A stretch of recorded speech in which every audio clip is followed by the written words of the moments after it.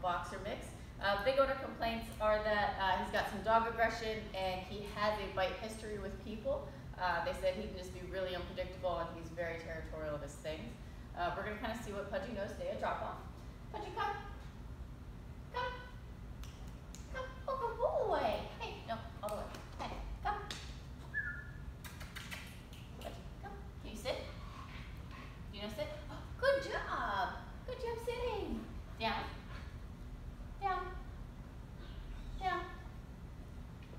Oh, good boy. Okay. Buddy, come. Come. Come. Hello. Okay. Buddy, can you sit again? Hey. Buddy. Hello. Hi. Hi. Can you sit? No? Okay. So this is Pudgey Day, a drop off. Check back in 14 days and check on Pudgey's progress.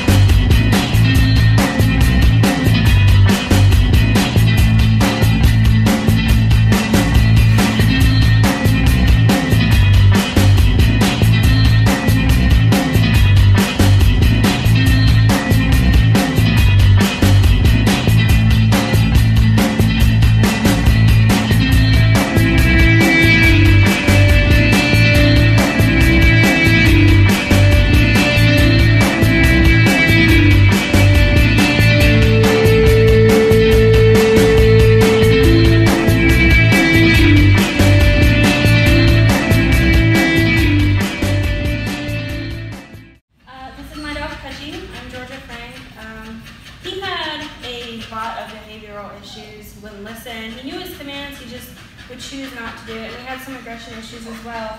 But um, our trainer that worked with him, Christine, she was great. I was amazed every night, got in video, and him doing things I didn't think were even possible. So the program has exceeded our expectations, and we've told our parents about it. They want to send their dog here.